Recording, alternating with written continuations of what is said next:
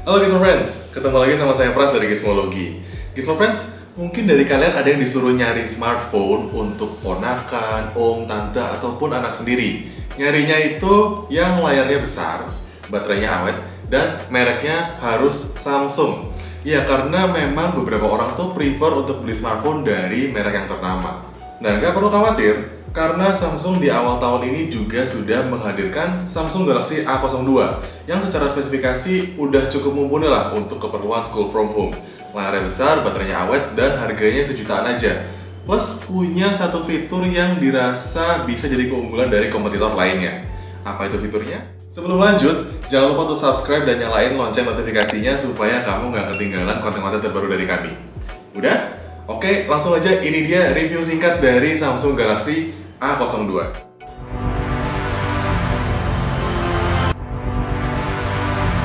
Gizmologi.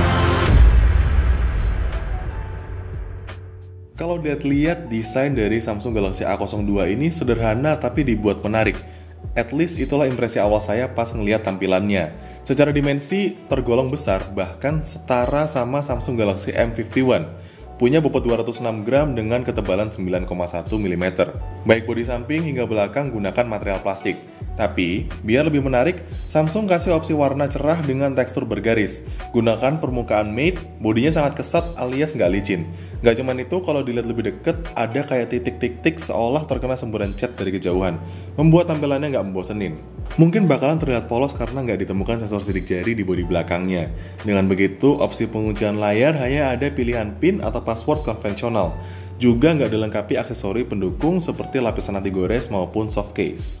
Untuk keperluan panggilan video lewat Zoom atau harus hadir di sebuah kelas digital misalnya, tentu diperlukan dimensi layar yang besar pada smartphone. Samsung Galaxy A02 punya layar 6,5 inci HD dengan panel PLS IPS. Menggunakan desain Infinity V alias gunakan poni kecil di atas untuk sematkan kamera depannya. Bezelnya memang sedikit tebal, jadi salah satu faktor yang membuat dimensinya itu agak gede. Layarnya sendiri pun kualitasnya lumayan, gak jelek tapi juga bukan yang paling baik di kelasnya. Paling nggak warnanya nggak pucat dan cukup cerah kalau dipakai di luar ruangan. Yang agak disayangkan, layar sebesar ini tuh nggak bisa dimanfaatkan untuk multitasking atau menjalankan dua aplikasi sekaligus, karena opsinya nggak bisa ditemuin waktu kita akses menu recent apps. Sehingga hanya bisa dimanfaatkan untuk satu aplikasi dalam satu waktu aja. Lalu untuk hasil fotonya sendiri, reproduksi warnanya tergolong netral dan mungkin bakal kelihatan cenderung pucat bagi sebagian orang.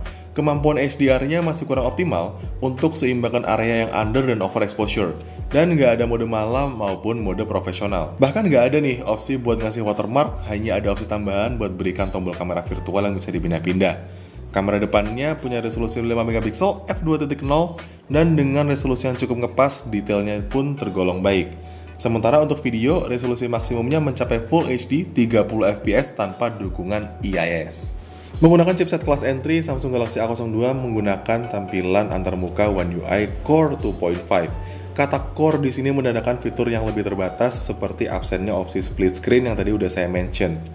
Pas ambil takapan layar pun nggak ada muncul opsi untuk scroll sampai bagian bawah. Jangankan fitur dual messenger, opsi buat rekam layar pun juga nggak ada. Walaupun gitu, aplikasi pelengkapnya seperti Samsung Pay dan Samsung Gift masih ada, termasuk fitur FM radio yang memanfaatkan antena dari earphone kabel 3,5 mm. Nah, yang agak unik itu kemampuannya buat mendukung kartu microSD sampai kapasitas 1 TB, di mana kompetitor lain itu mungkin cuma sampai 256 atau 512 GB aja. Slotnya juga non-hybrid, jadi bisa pakai dua kartu lainnya. Dukungan Dolby Atmos juga hadir untuk memberikan efek imersif saat akses konten audio visual. Untuk School From Home, cukup tapi nggak untuk bermain game. Soalnya Samsung Galaxy A02 ini pakai chipset yang sangat sederhana dan tergolong lawas, yaitu MediaTek MT6739W dengan CPU quad-core 1,5 GHz dan fabrikasi 28 nanometer. Performa tersebut diakomodir dengan RAM 3 GB dan penyimpanan 32 GB.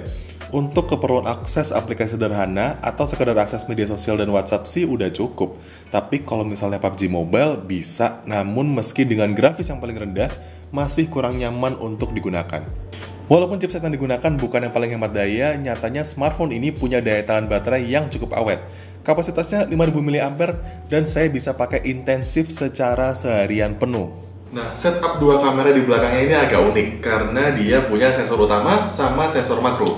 Tapi karena itu smartphone ini jadi nggak bisa ambil foto potret. Kekurangan lainnya ada di portnya yang masih micro USB dan belum didukung oleh fast charging. Jadi walaupun baterainya gede banget, ngecasnya harus agak sabar. Secara spesifikasi, sebenarnya Samsung Galaxy A02 ini sudah cukup menjanjikan. Tapi kalau dibandingkan sama kompetitornya dengan harga yang sama, masih kalah di bagian performa, kamera, dan fitur-fitur ekstra lainnya.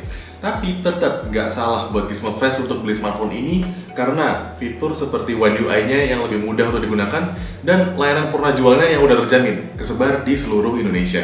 Ulasan lengkap mengenai smartphone Samsung Galaxy A02 ini juga bisa kamu baca di gizmologi.id. Jangan lupa main-main juga ke Instagram dan Twitter kami @gizmologi. Saya Pras, sampai ketemu di video-video berikutnya.